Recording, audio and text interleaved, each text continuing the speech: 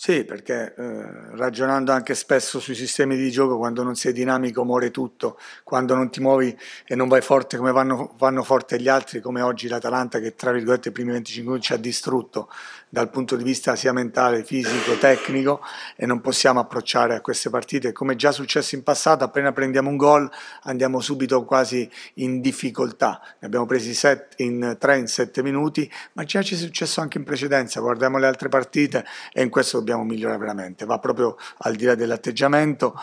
Eh, capire che dobbiamo cambiare questo chip mentale perché le partite cominciano a farsi dure, cominciamo a, a ritrovarci un pochino. Devo dire che a differenza delle altre occasioni è mancata la prestazione, cosa che non era mai mancata in precedenza. Abbiamo fatto um, dopo specialmente secondo tempo, dei buoni 30 minuti, cambiando qualcosa, mettendo anche giocatori che attaccavano con maggiore eh, frequenza la profondità, che è una cosa che ci stava mancando ultimamente.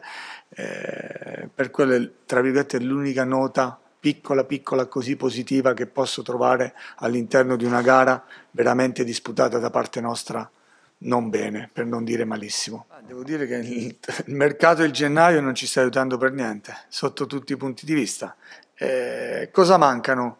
Oggi anche lo dimostra che le caratteristiche per giocare in un determinato modo ci vogliono dei giocatori.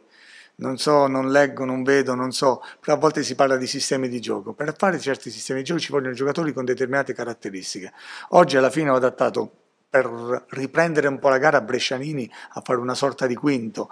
E ridato, abbiamo ridato un po' di equilibrio alla squadra, poi eh, è uscito l'Irore, è entrato Gelli, un po' di adattamenti che però secondo me avevano ridato un po' di senso, un po' di equilibrio alla squadra e abbiamo fatto meglio. Detto questo, quello che non, non è inaccettabile in questo momento è l'approccio che abbiamo avuto eh, la poca, eh, quello che mi ha dato un po' fastidio, prendere il quarto prendere poi magari il quinto e un po' tra virgolette Uh, non dico mollare perché è una cosa che manco voglio sentire nominare, però tra virgolette non stare in partita fino alla fine. Si perde, ma si deve perdere sempre non mollando niente, lottando su ogni pallone, onorando sempre al 100% quella che, che, che in questo momento rappresentiamo, che è la maglia del Frosinone. Questa è una cosa che io non posso accettare, per quello d'ora in poi voglio sempre vedere atteggiamenti di grande serietà in ogni momento della partita.